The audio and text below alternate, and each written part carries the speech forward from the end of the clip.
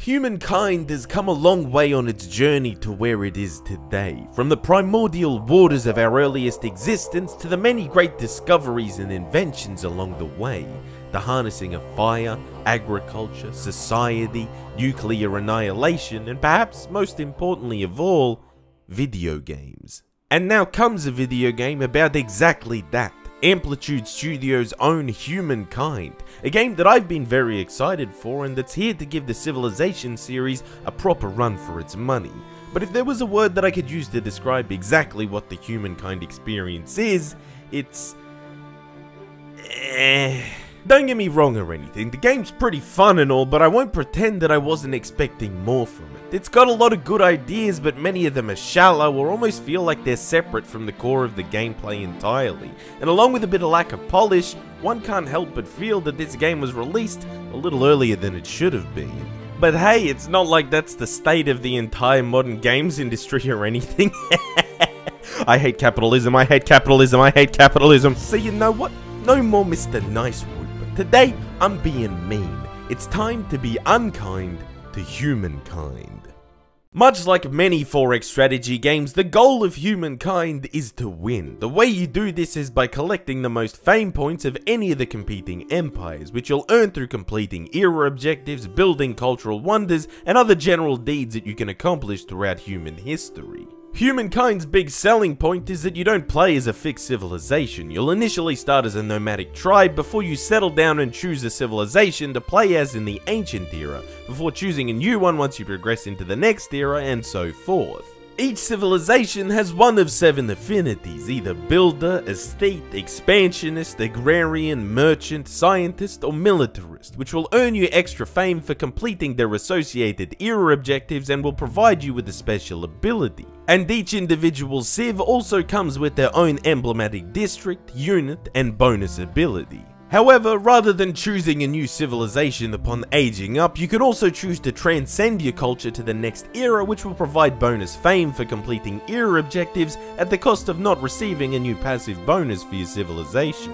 If you're familiar with the Civilization series, then you'll be relatively familiar with Humankind from the get-go. If you're gonna liken this game to any particular title, I guess you'd probably say Civ 6, largely due to the game's city quarter building mechanics, very similar to the districts from Civ 6. The technology tree is straight out of a Civ game, unit movement works in a very similar way, and one of the more important resources you'll accumulate is influence, which draws some parallels to culture in the Civilization series, and is used to both build new outposts to claim territory and enact civics.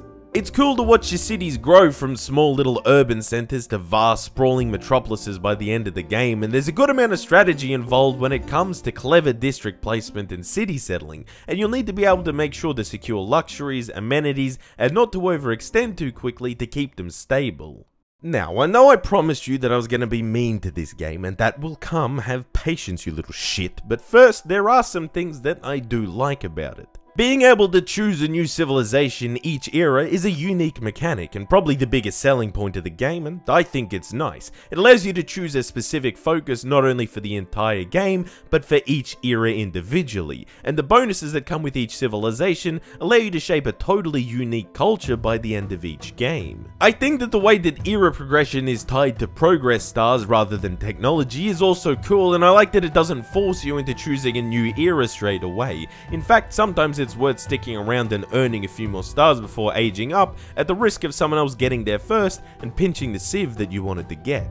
I also really like how the map has different elevation levels rather than just tiles that are considered hills or mountains. It makes the map not only look more appealing but adds a lot to the strategy of the game, particularly when it comes to settlement placement and unit formation in combat.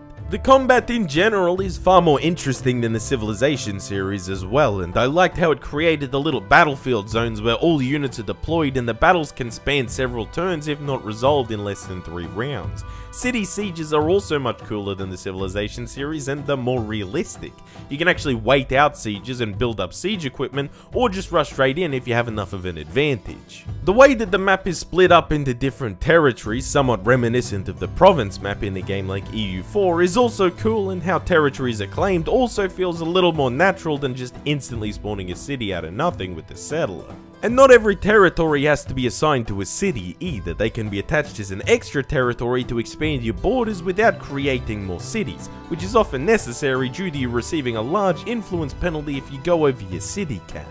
I do feel however that the city cap is too restrictive and should scale with larger size maps because it really hampers your expansion in the early game especially.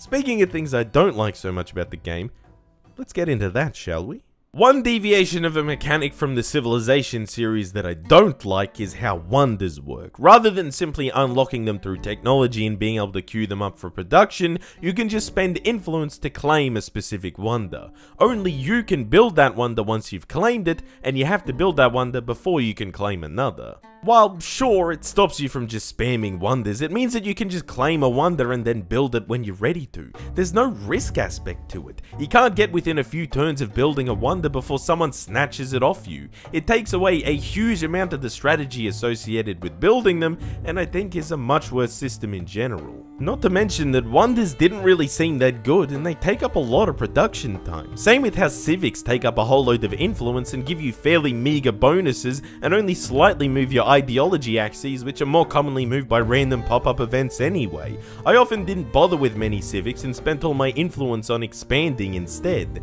except for the, uh, nuclear proliferation one, of course. And then there's religion, and I don't know if I've ever seen a more half-baked backseat mechanic in my life. I would just forget it existed until I got to unlock a new tenant. The tenant bonuses were so meager, and having a dominant religion made almost no noticeable impact on the game. Honestly, focusing on religion was almost as pointless as it is in real life. Am I right, my fellow r slash atheism enjoyers? And on the theme of half-baked ideas, I really like the concept behind the ideological axes of your country and how they're shaped by civics and events, but I would have liked to have seen more involvement from them, especially when it came to diplomacy and relations between other major empires, rather than just your affinity with independent peoples. It also feels like there's a bit of a lack of civs in the game too, especially when some eras have no civs of a certain affinity. Come on, only 10 per era? You can definitely have more. Why is there no Bosnia Civ? Why isn't there an ancient Hyperborean Finnish Empire Civ? And where the frick is my dang Wooper Civ? Like this video if you support a Wooper ethno-state. As there are no historical leaders in the game due to how civilizations flip all the time, there's just a bunch of preset leaders, all with their own specific personalities and bonuses, some more annoying to play against than others. You have to choose which AI you play against manually though, which is perplexing. Could there really not have been an option to choose the AI randomly? I also would have liked to have seen maybe a random AI personality generator to add more variety rather than just coming up against the same generic AI every single time. Also, fix their fucking facial animations, please. Balance is an important part of competitive strategy games, especially one like this that's premise is around its dynamic playstyle, and unfortunately for humankind, it's more than a little wonky. Playstyles in this game are not all equal. Certain affinities are just far more achievable, especially in the earlier eras. I feel that in general the easiest stars to attain are the agrarian, builder and scientist stars, and having high population, production and science make it much easier to be a more powerful nation in general. The worst civs are the expansionist ones, especially in the early game, because you need an obscenely high amount of territories to get more than one star per era for it, and your influence gain is massively hampered by the very restrictive city limit and detaching a huge amount of territories to one city leaves the territories underdeveloped and the city bustling with instability. Just don't fucking pick the expansionist civs, okay? Certain civs also have bonuses that are just clearly better or worse than others. I hope nobody who lives in the Balkans is watching this because the Turks have to be probably one of the most overpowered civs in the game because their emblematic district, the public school, is completely broken. Look at this shit. It genuinely quintupled my science output in like 10 turns. I completed the tech tree with like 50 turns to spare. Just, just let me show you the timeline to give you an idea. Now, now, if you follow standard insertion procedures, everything will be fine. Order! Get away from the... Shut down. No. Attempt to shut down. It's not.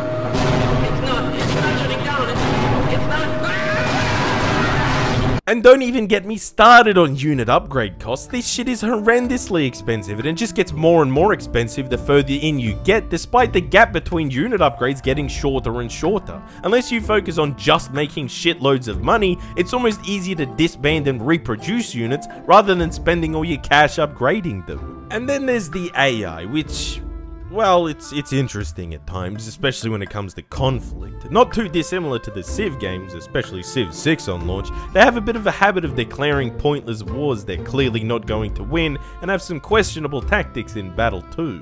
I also found that there's a big gap between how good the AI are between Nation and Empire difficulty. On Nation, I totally stomped the game with more than double the fame of the AI that came second, but on Empire, the AI is clearly just getting massive bonuses to help them out. In the game I played on Empire, I was dowed early on by my neighbour who was constantly outputting 4 stack armies to attempt to siege my cities, albeit unsuccessfully. After I finally pushed them back and won the war, I found out they only had one city. There's no way they could have been outputting that many units legitimately, even if hiring them from an independent nation. Another big issue I have with the AI is that much like the AI in the Civilization series, they often don't bother trying to do anything to stop you or whoever it is that is clearly running away with the game. Although to be fair to them, in humankind, there isn't all that much you can do. The biggest issue that I have with the game is that the end game feels almost non-existent. Unlike in Civ games where usually the game becomes super spicy once you get to the modern eras, in Humankind once you get to the good parts of the contemporary era, the game is pretty much done. The game is ended by a number of criteria, either the turn timer running out which is dependent on what speed you're playing on, a player earning every contemporary era star, a player completing the tech tree, a player eliminating and or vassalizing all other empires, a player completing the Mars mission, or the Earth succumbing to climate change, probably at the hands of the Australians. You can choose presets for ending criteria, though you can't choose to turn each criteria on or off individually, which I thought was pretty stupid.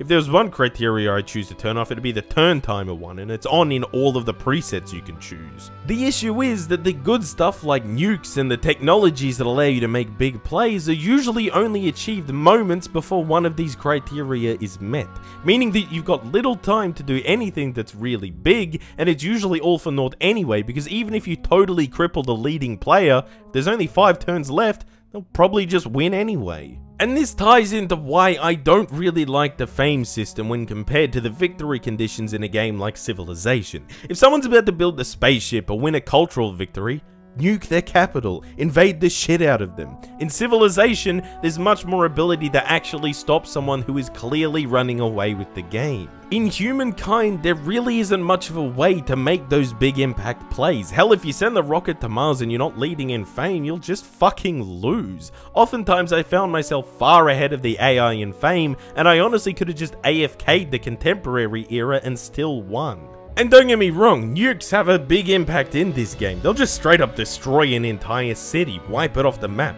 But when that happens 5 turns before the game ends, it's kinda... Eh, shit happens. Really, the only way to beat the leading player would be to wipe them out completely, requiring either a massive nuclear stockpile, which is realistically unachievable before the game ends, or the ability to completely conquer them, also realistically unachievable due to city cap penalties and the fact that you really can't take that much in peace deals. I get that the fame system encourages you to choose a specific focus and that it rewards you for playing well earlier on, but the game lacks that big crescendo that a game where there can be only one winner left standing should have. And rather than having a much more dynamic and interesting finish, each game feels like it just kinda fizzles out. Aesthetically, I do like the game. It's almost sort of in between the look of Civ 5 and Civ 6, certainly at least for the leader models, but the map itself looks pretty good and the UI surrounding it is pretty intuitive for the most part. One section of the UI that I think needs to be overhauled however is the Peace Deal UI. Amplitude could take a page out of the Paradox Grand Strategy book here and not make it take up the whole screen, and also allow you to click on the map to choose which territories you take, rather than having to memorize them and then choose them from the narrow drop down list. I don't mind the narrator either, he's got the right kind of stoic sounding voice, but basically everything he says is tongue in cheek, which wasn't so bad the first time around, but when you have to hear the same shitty jokes every single time you play through the game, it starts to get more than a little mildly annoying. Polish is also a bit of an issue. I'd hardly say the game is Bethesda-esque when it comes to bugs, but they're still relatively prevalent. Units forgetting to animate and getting stuck during combat, dead empires reappearing for diplomacy when continuing after finishing the game, the game getting stuck after completing a turn which forces a reload, and surely those grid lines around mushroom clouds aren't meant to be there, right? Amplitude also clearly tried, but the main theme music isn't anywhere near Civ level either. To be fair, you're competing with tracks like Sogno di Volare and arguably the greatest theme music of all time, Baba Yetu from Civ 4, so it was never really a contest. You should've just hired Christopher Tin. Overall, I won't say that Humankind is a bad game by any means, but I also won't say that it didn't underwhelm me. Maybe it's my fault for getting excited for it, but the game really feels a little half-baked, something becoming more and more prevalent in modern game development. To be fair, I still had a fair amount of fun with it, and that is largely down to it being simply a genre of game that I like, and to give credit to Amplitude Studios where it's due, I applaud them for trying some new things and not just serving up a straight Civ clone. And don't forget what Civ 5 and Civ 6 were like on launch, they weren't exactly gems either. But should you buy Humankind? Well, if you already have Civ 5 or Civ 6 with all their DLC, wait for it to go on sale first. If you don't have any DLC for either, then it's probably worth a look. I feel like Humankind may well go down that same path where a few DLC expansions could take it that further step forward, make it feel a little less bare bones in some aspects, and perhaps extend the endgame out a little more. But on the same note of DLC, what I can appreciate about the game is that it is giving Civilization some proper competition. So maybe their DLC model might not be as freakish as it currently is when Civ 7 comes knocking. But for now, Humankind, if I'm to be brutally honest, I'm afraid that the Civilization series has earned itself a few more fame points than you have.